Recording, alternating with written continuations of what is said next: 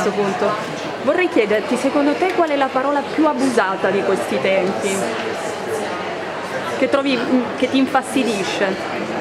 Non, non so, non, non, ci ho mai pensato. Sai, eh, a me infastidiscono i concetti, eh, mi infastidisce eh, il dolo nell'uso delle parole, quindi ci possono essere delle parole che non sono particolarmente abusate ma che secondo me vengono usate in modo doloso e questo mi ferisce e mi offende. E sicuramente l'abuso eh, della parola comunista usata come insulto, io personalmente trovo insultante che per, eh, anziché eh, scegliere l'infinita ricchezza e, e le infinite differenze di significato che si possono dare anche per definire i propri avversari, si debba invece banalizzare tutto usando in modo improprio una parola che vuol dire tutt'altro.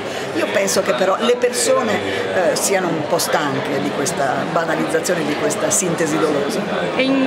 Associandolo al mondo femminile, alle donne, qual è la cosa che trovi più irritante da dire a una donna?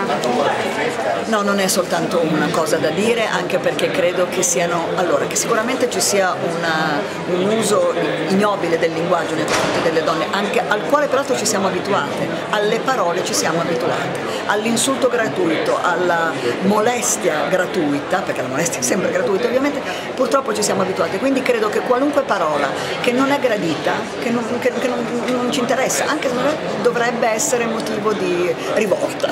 Ecco, credo che sia ovviamente indispensabile eh, eh, ribellarsi e combattere contro tutti i soprusi, le ingiustizie e le violenze, ma credo che molto prima di arrivare alle aule dei tribunali eh, la, la, questione che riguarda il linguaggio, quindi la questione del, del, del rapporto tra persone, dovrebbe essere prioritaria e noi dovremmo smetterla di tollerare qualunque forma di mancanza di rispetto che ci levi anche un milligrammo verbale di dignità. Il web da ultimo ha aiutato o no la lingua italiana secondo te l'uso del web di internet? io credo che eh, aiuta, tu, tutto aiuta finché ci rendiamo conto che sono strumenti e mezzi. Quando gli strumenti e mezzi diventano fini in sé e quindi quando si crede che eh, non siano più cose che servono per comunicare o per ottenere qualcosa ma che siano il totem, allora inevi inevitabilmente e, e, un po' come dire automaticamente possono diventare negative. Però credo che eh, eh se rimane questa, questa chiarezza di, eh, di ruoli possano servire moltissimo. Grazie.